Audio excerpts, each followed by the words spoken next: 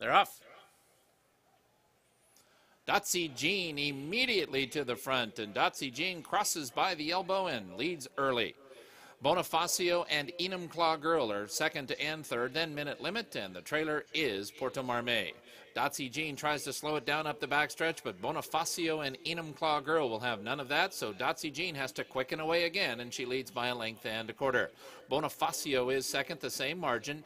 Enumclaw Girl is joined through from the inside by Minute Limit. They're three and a half behind. Porto Marmay has five lengths to make up as they leave the backstretch in the first Culver City Stakes, and Dotsy Jean is in charge.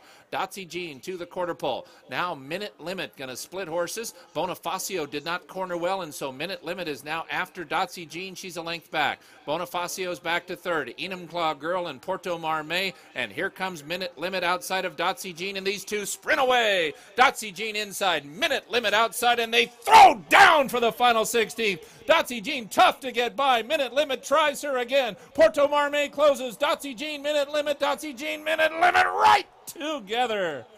Wow, that is a desperate bob of noses in the first Culver City Stakes. Minute Limit outside. Dotsy Jean inside in a Friday night whacker.